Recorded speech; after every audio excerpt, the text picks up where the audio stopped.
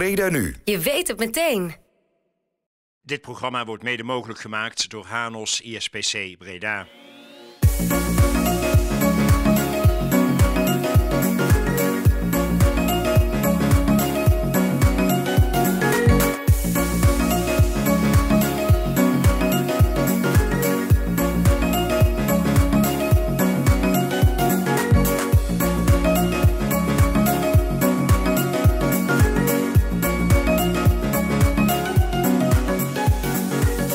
Mij vandaag de taak om het programma Smaakmakers te presenteren. Marieke die is met vakantie, maar Smaakmakers is er natuurlijk gewoon wel. En Smaakmakers is een programma, zoals Marieke dat altijd zo mooi omschrijft, een programma waarin we een Bredanaar ontvangen die smaak geeft aan de stad Breda. Nou, vandaag hebben we ook weer zo'n gast. Dat is Henk Voermans. Ik ga hem zo dadelijk verwelkomen. En we gaan eh, vandaag ook eh, winkelen en koken in de keuken van Hanos ISPC. En dat doen we met Marnix Gordijn van Zeezicht. Maar ik zei het al, ik ga eerst even Henk Voermans welkom heten. Hallo Henk. Goedemorgen. Fijn dat je er bent. Ja, ik, eh, ik stel het zeer op prijs om hier eh, uitgenodigd te zijn. Ja. Ja. Nou, dat is, eh, dat is mooi. Je kent het programma, dus we gaan eerst eventjes eh, de winkel in van Hanos ISPC. Geweldig. Loop je met me mee? Ik ben benieuwd. Goed zo. En dan ben jij natuurlijk eh Marnix Gordijn Hoi, goedemiddag. Ja, zeker. van, van Zeezicht. Van Zezer in Breda, Grote Markt. En eh, Kees Embrechts, nou die kennen we natuurlijk wel hier van de Hanos ISPC. Natuurlijk, inderdaad. En dit is eh, onze gast dan eh, Henk, Henk Voermans. Hallo, Marnix. Ehm, wat, wat, wat, wat ga je voor ons bereiden? We gaan vandaag gaan wij een, eh, een herfstgerecht bereiden met eh, paddenstoelen. Lekker wat truffel gebruiken, pas goed bij het seizoen. Eh, lekker vers. Ja. En dit, dit zijn allemaal verschillende soorten paddenstoelen, Henk. Eh, Kees? Inderdaad, het zijn allemaal lekker paddenstoeltjes eh, voor het wildseizoen. Hè. Daar begint nou de paddenstoelenmix. De girolletjes, lekkere sepjes, pure matonnetjes, grijze kanterel en dan mixdootjes. Hartstikke deze tijd wat, eh, wat gebeurt bij het wildgerechten. En wat, wat heb jij nodig voor het gerecht? Eh, wij gaan met de pied de mouton werken, met de kanterellen en de trompette l'amour. De mooie donkere paddenstoel, vol van smaak. Dus eh, drie verschillende soorten. Ja. En wat we dan nog nodig hebben is eh, kaas. Ja, en we gaan vandaag gaan we werken met de Parmezaanse kaas. Die gaan we als laatste gaan we die over de pasta heen raspen. Maakt het gerecht echt helemaal af, vol van smaak. Krijgt er net even iets meer stevigheid nog. Nou goed, eh, wij gaan nog eventjes naar de wijnafdeling. Als jij alvast naar eh, de- keuken gaat voor de voorbereidingen. Kom je mij zo meteen helpen? Succes. Wij gaan naar de wijn. Tot zo. Nou, we zijn inmiddels op de wijnafdeling, Henk. En hier staat eh, Stefan Waaiers. Welkom. Stefan. Ja, ik heb al goedemorgen, goedemiddag, goedenavond gehoord. Hè, dus maakt allemaal niet uit. geen probleem. Ehm, ja, wij gaan eh zo dadelijk een pasta eten, want dat gaat eh, Marnix eh, bereiden voor ons. Wat, voor- wat voor wijntje krijgen we daarbij? Wij krijgen daarbij deze keer een wijn uit de beroemde wijnstreek Toscane. Heel bekend wijngebied hè, in Italië. Ja. Eh, een wat minder bekende appellatie, eh, Morellino di Scanzano. Oeh, dat klinkt in ieder geval heel, heel lekker. Klinkt heel lekker, klinkt heel Italiaans. Ja. Ben, ben jij een beetje een wijndrinker? Niet zo, eh, nee. Echt. Oké.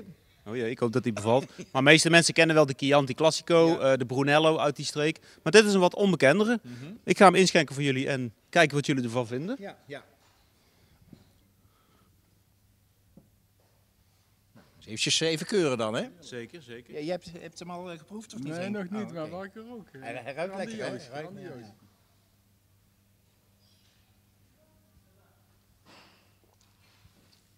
Ja, helemaal. Lekkere, heerlijke Kijk. smaak, moet ik zeggen. Dit is wat, hè? Ja. Ja, mooi. Vol- Volgens mij past die eh, uitstekend bij het gerecht wat, eh, wat zo dadelijk bereid gaat worden in jullie keuken. Perfect, ik denk het ook. Nou, ik ga ervan genieten, zou ik zeggen. Mag Alsjeblieft. ik een eh, fles meenemen? Ja, zeker. Neem mee. Ja. Die is voor jullie. Dankjewel. Smakelijk. Joep.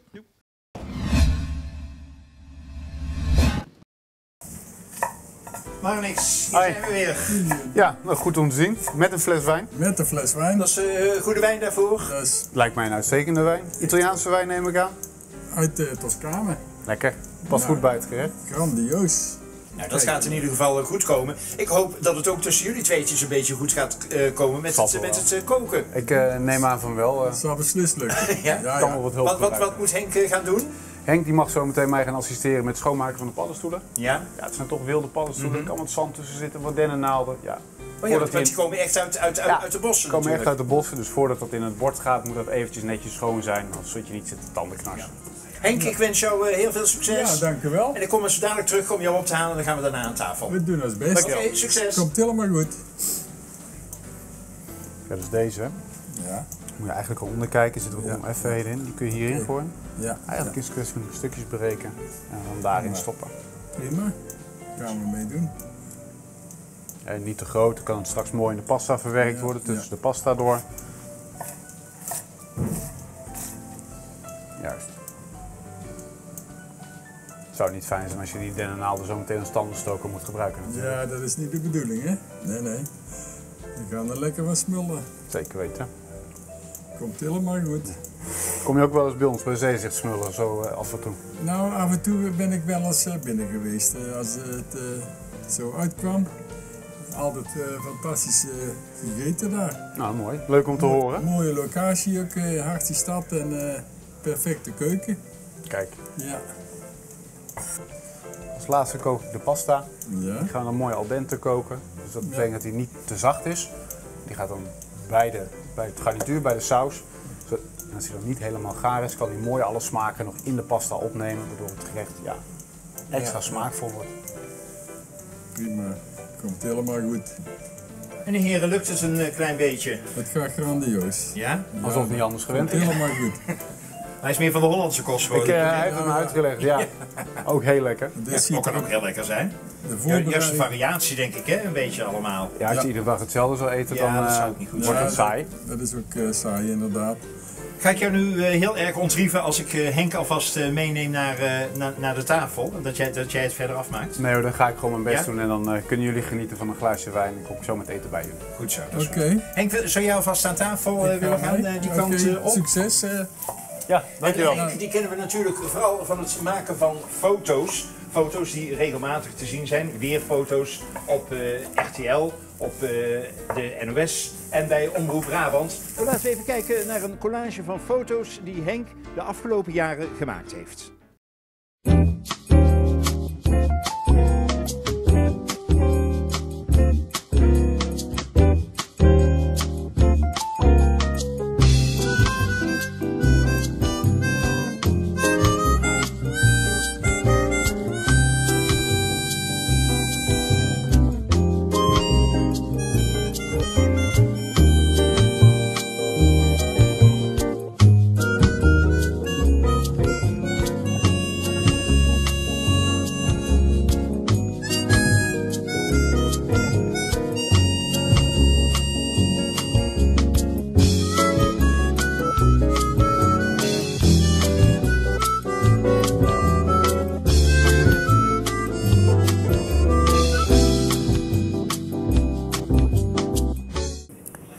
Henk, dat was een eh, mooie collage hè, die we gezien hebben van jou. Inderdaad, was een mooie collage, varieert. Ja, ja. Want, want hoeveel foto's heb, heb jij al gemaakt? Ik heb er tienduizenden gemaakt. Tienduizenden? Ja, tienduizenden. In de, in de 13 jaar dat ik weer vroeg pensioen ben en pensioen dan. Ja. Eh, elke dag gaat de camera trouw mee en eh, de mooie, mooie evenementen in Breda. Moeder Ja. Natuur natuurlijk, een Ja. grote markt Ja, en heel divers. ja. Want jij bent vroeger timmerman geweest, Ja, hè? ik ben timmerman geweest. Ik had geen hobby's en ja, dan heb ik die fotografie als hobby gekozen. Ja, ja.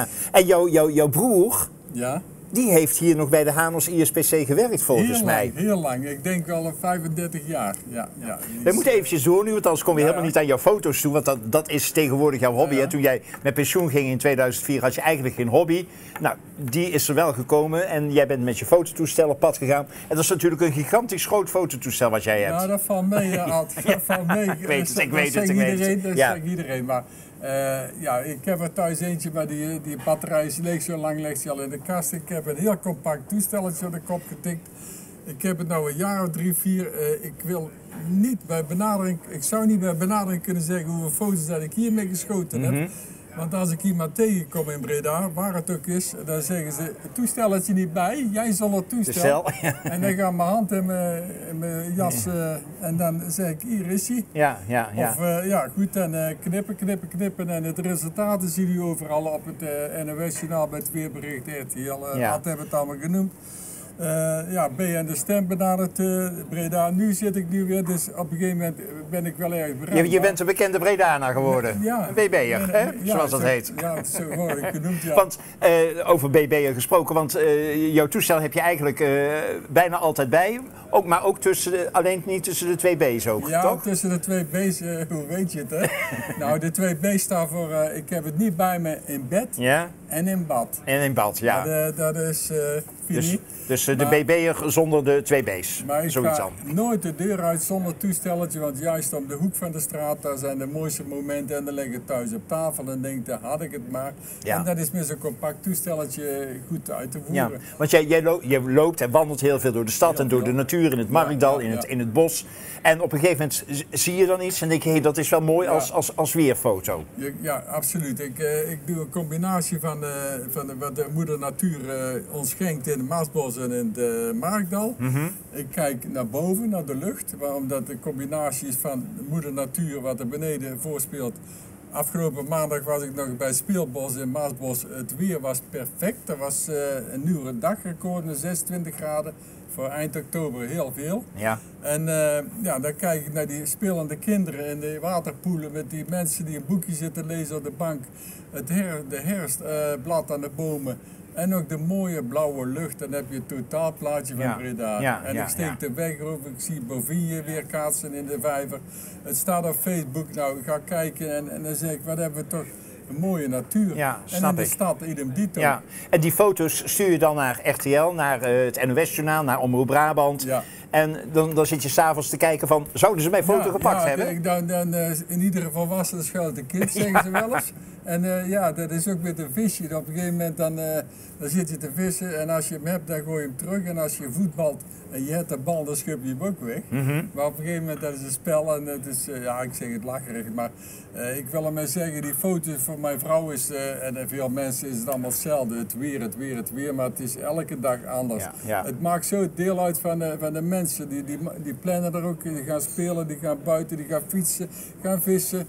eh, relaxen in het bos, in het park. eh, Ja, mensen, ja je, je past je een beetje aan aan het weer Ja, natuurlijk. ja. Hè? En ik pas aan het weer en Ja. dan laat ik zien aan de, aan de medemensen in Nederland, door de buizen en de, Brabant, eh, de, de Brabantse dingen. Ja, want je wordt, eh, nou ja, mede door de VVV eh, Breda en, en door de gemeente Breda, word je wel ambassadeur van de stad Breda genoemd, hè? Ik vind het eh, fijn dat in diverse folders van de VVV eh, ook foto's van mij geplaatst zijn. eh, die echt het Breda's plaatje weergeven.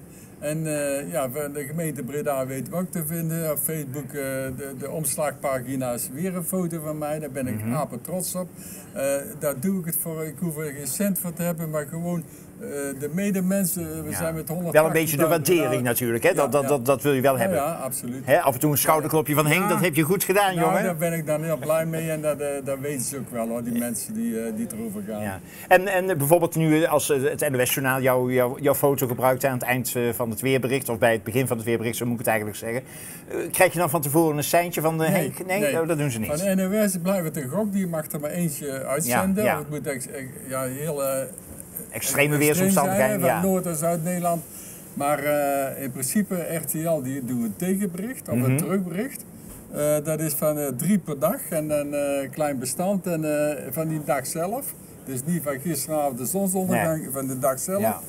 Omroep Brabant, daar krijg je ook geen, geen seintje. Oh, nee, dat is nee. gewoon daarvoor s'avonds wachten. Ja.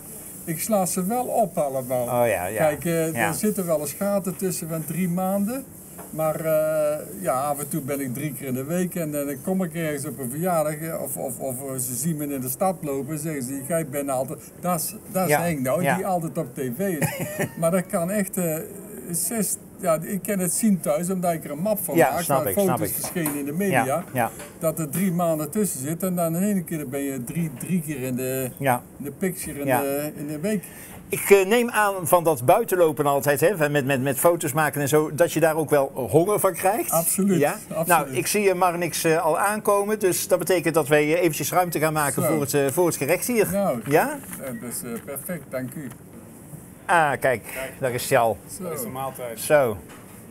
Dank u. Ah, ziet er, eh, ziet er in ieder geval heel goed uit, maar niks. Dat was eh, in ieder geval de bedoeling. Ja, en dan moet daar die, eh, die truffel volgens mij nog overheen, hè, als ik allemaal goed geluisterd heb. Uiteraard hadden we de verse truffel. Ja. Maar als laatste, het lekkerste, een klein beetje eroverheen geraspt. Oh, dat is inderdaad maar zo'n klein beetje wat, eh, maar wat een klein beetje ja. nodig. Het gaat om de smaakbeleving. Ja, ja. Ja.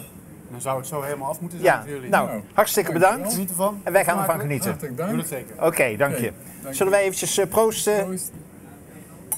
Nou, ik vond het leuk om met jou gesproken te hebben. Ja. We gaan nog intensiever kijken naar het eh, weerbericht op eh, eh, RTL, op de NOS, op Omroep Brabant. Omdat we jouw foto's zien. Heel veel succes verder. Ik blijf mijn best doen. en- Ja, meer kun je niet doen, hè? Nee, oké. En ik bedank u natuurlijk voor het kijken. En volgende keer is er weer een nieuwe aflevering van Smaakmakers hier bij Breda Nu. Proost. Proost.